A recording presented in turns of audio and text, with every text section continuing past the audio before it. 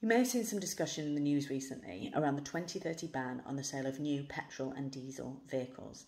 Now, this was announced by the government some time ago, and UK automotive manufacturers like Ford, Nissan, Stellantis, which makes Vauxhall, have all been putting in place production plans to make sure that by 2030, all the sale of their new vehicles will be electric.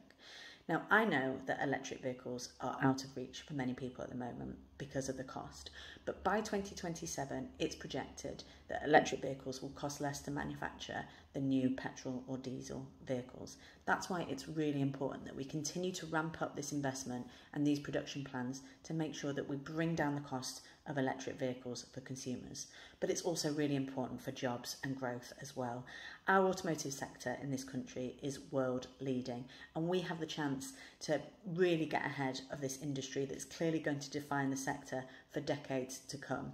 By weakening this target and by watering down any commitment, it risks the jobs and growth in this sector to the tune of potentially tens of billions of pounds and tens of thousands of jobs in every corner of the UK. That's why Labour remain committed to the ban, and it's been really disappointing to see Tory ministers coming out and watering it down and arguing over it.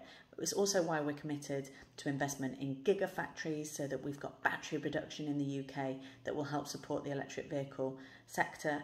And we're committed to targets on charging infrastructure because of the woeful rollout of charging infrastructure right across the country. In fact, there's more public charging points in the borough of Westminster alone than there are in the 12 largest towns and cities in the north.